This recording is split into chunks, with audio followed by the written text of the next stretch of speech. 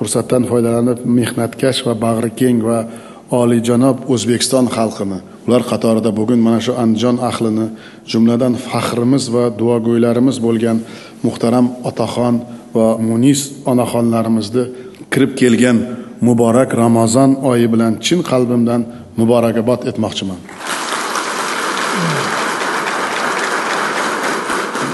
Ushbu qutlug' va barakotli kunlarda yaratgandan betakror el yurtimiz hamisha tinch va osoyishta bo'lishini sizlarga va oila a'zolaringizga hamda butun xalqimizga mustahkam sog'lik salomatlik qut baraka va baxt saodat yor bo'lishini so'rayman. Vatanimiz taraqqiyoti yurtimizning obodligi va xalqimiz farovonligi uchun olib borayotgan barcha ishlarimizga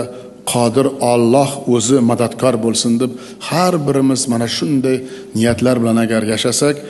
qutlug' ramazon oyida obod masjidlarda fayzli xonadonlarda o'qilayotgan duolar ijobat bo'lsin.